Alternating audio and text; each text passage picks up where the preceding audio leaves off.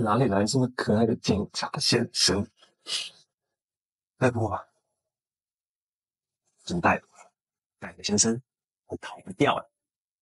原本甜甜蜜蜜的俩人还想进一步深入交流，却被一通不合时宜的电话打断。小白不知道的是，这通电话也将决定他们俩未来的命运。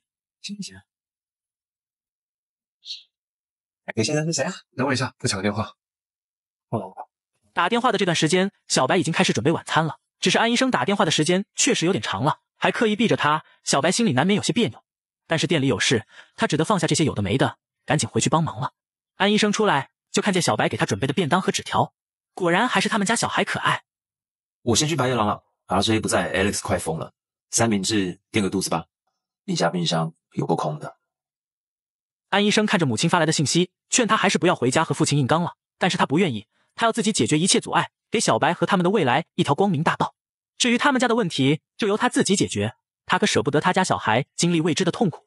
但是被蒙在鼓里的小白却明显感觉到安医生的冷落和疏远。无论什么时间打电话发信息，对方都在忙。小白很委屈，他不明白原本温柔如水、体贴照顾他的安医生怎么突然变了呢？嗯，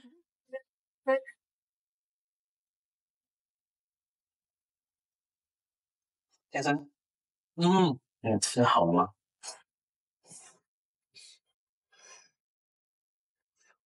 本来是要买给建勋安的，结果说没空，忙到连一面都进不了。他忙，他只做员工可以帮忙吃啊。我才不要，他都说没空了，我还硬要送去。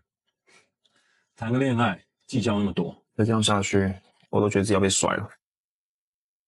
建勋安跟你提分手，什么时候提的？没有啦，他什么都没有说，是我在自言自语，只是。只是什么？只是这十天我们只见过一次面。但是偶尔安医生就会突然出现，小白就立马原地复活，冲出去把人抱住，原本那一点小怨气也消散无踪了。只是安医生一碰就要碎掉的感觉，让小白很害怕，隐隐有种不好的感觉，问他又不肯说。只是你要照顾好你自己了。有了，你们在睡觉，黑眼圈很深 哎。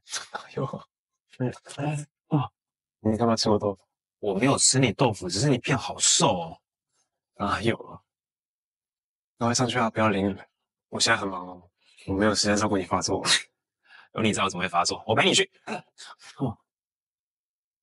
安医生怕待在一起时间长了，小白会察觉出什么，赶紧转移话题，忍着痛苦把礼物拿出来。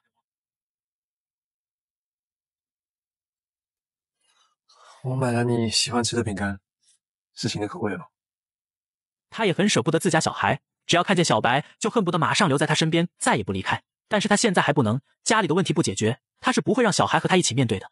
毕竟小白情况有些特殊，他要好好保护，给对方安全可靠的臂膀，才是爱人的表现。本来就郁闷的小白，又又又迎来了烦人的学长。这次学长又想出什么花招呢？点赞关注，看下集。